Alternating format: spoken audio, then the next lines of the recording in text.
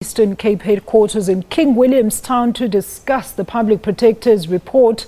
The damning report has fingered a number of politicians, including Premier Phumulo Masualle, saying the provincial government has misappropriated about 300 million rand during the preparations for former President Nelson Mandela's funeral in December of 2013. The ANC has since summoned all implicated leaders to the meeting, but Premier Masualle had not showed up. But our reporter Busisiwe Jemsane is at Calata House where the meeting is convening and she joins us with a live update. Busisiwe, a very good afternoon to you. Has Masualle finally showed up to answer to these allegations and maybe tell us more about what the exact findings and charges have been leveled against Ubusi?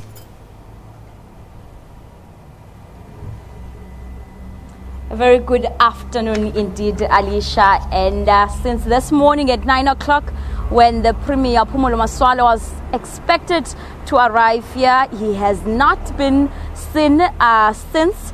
Um, it is safe to say that he did not attend the meeting. Uh, some say uh, this would seem like Masualle defying the NPEC once again. Remember, Alicia, he has never attended a single meeting that has been convened or was convened by the new provincial executive committee.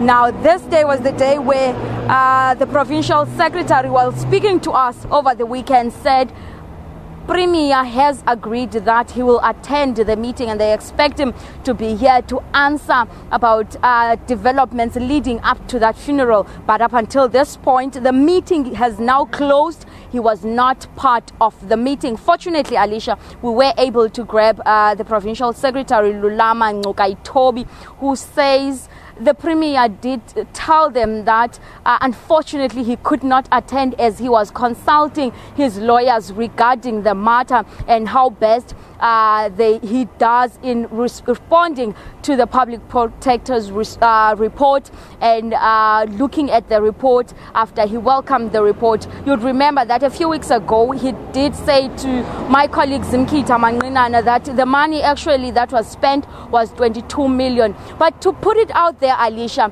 the involvement of Premier Masualle in the whole saga was that sum of 250,000 rands was transferred to his personal bank account whilst he was still the MEC of economic development back then. But he since said the money must be reversed he does not want it into his account. But the public protector said it was inappropriate that the money in the first place was deposited into his account. We did see other officials, we include the Buffalo City Mayor Zuki Swangita, uh, we did see ANC councillor uh, Mamu Gomva, who was part of the meeting. They are part of the people who were implicated, and in fact, both of them are the people who are facing criminal charges in the East London Magistrates Court regarding the saga facing fraud and corruption charges. Alicia.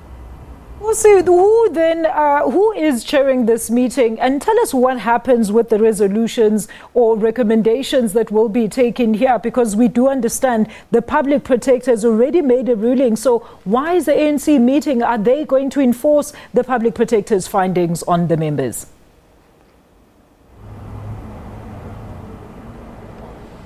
The provincial chairperson Oscar Mabuyane was chairing the meeting alongside with the provincial secretary who briefed us, the media, in terms of what they decided on. Because you remember, when the report was released, they said they need to sit down as the executive to discuss mm-hmm. and come up with a solid plan on what to do. They're saying, Alicia, that they want the recommendations are set out by the public protector to be followed. That's the resolutions that have, de- that have decided on. Secondly, they want an ad hoc committee to be formed as soon as possible to investigate the matter. In fact, to go as far as to subpoena individuals that are involved in the saga to get answers to them, to investigate, saying that there are individuals who are not facing criminal charges in the magis- in the East London Magistrates Court, yeah. but do have some involvement in the saga. So they want the ad hoc committee to subpoena those to actually get to the bottom of things. But Alicia, a biggest concern or an outcry that has been uh, leveling around people accusing the ANC of awarding corruption instead of punishing it yeah. is that instead of removing the Buffalo City top officials in East London, they read deployed them to key other strategic uh, positions the mayor going to the NCOP, the deputy mayor going to the provincial legislature. But the provincial secretary says because this matter is still before the courts and it has not been concluded, theirs is to remove them from the face of the public, to remove them from local government Yeah. whilst they are still uh, continuing with the investigation. In fact, saying, Alicia, that from now on we will see.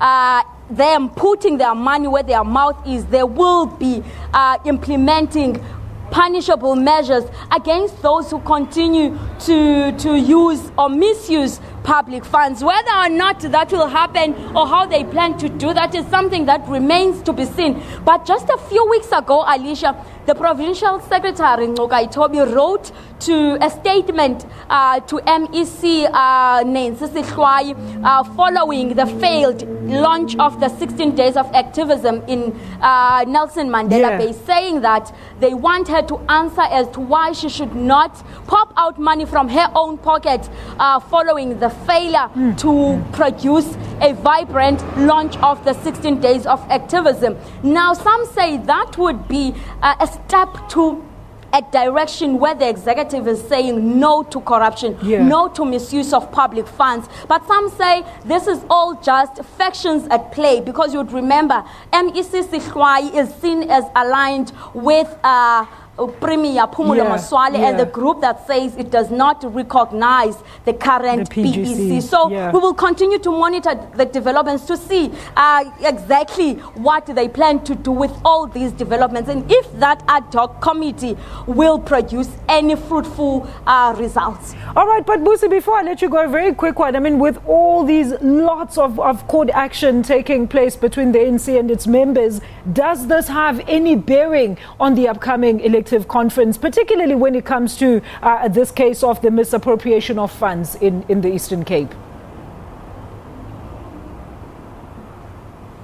Interesting that you should mention uh, the court case that have been at play in the province, Alicia, because this right now is the eve of the court judgment Yeah. in Grahamstown. The High Court in Grahamstown is expected uh, to, to, to make a judgment on the legitimacy of the provincial executive committee tomorrow. And but uh, the provincial executive was saying that that does not have any uh, dire effect on the province because it is branches who made their nominations. But that is yet to be seen because we know that the group that says it does not recognize the current structure and those who took the executive to court they want it to be uh, they want there to be a provincial task team going to the National Congress. Yeah. You also know that there's still another report that is yet to be tabled to the NEC to decide on the legitimacy of the provincial structure in the province. And now you would, one would assume that the court case would have